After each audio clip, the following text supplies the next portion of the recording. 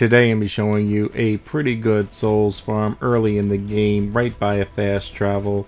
This is between the second and third boss in the game. You can get 775 souls roughly every 60 to 90 seconds.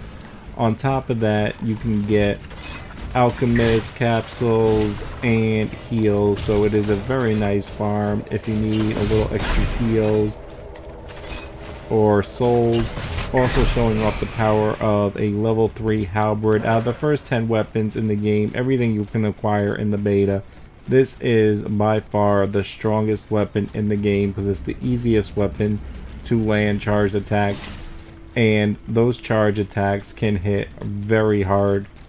Now I'm doing a little bit more on the commentary. Hopefully I can hit the mark on this farm. I should. So all you want to do is one charge attack, take a step forward, and another charge attack, rush forward, and finish them off. It is really that simple. You have three of them, two kill. They are slow, but they give a lot of souls.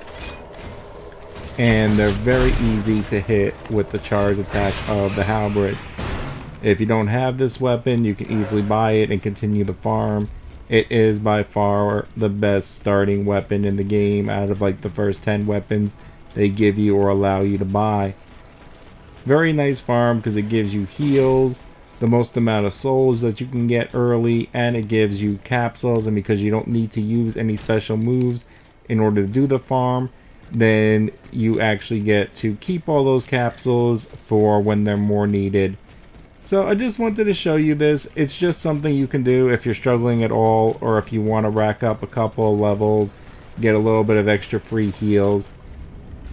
And you can also at this point buy the materials to get uh, your weapon up. So if you don't already have the halberd at level 3 you can easily get it to level 3 by doing a couple of these farms. I hope that helps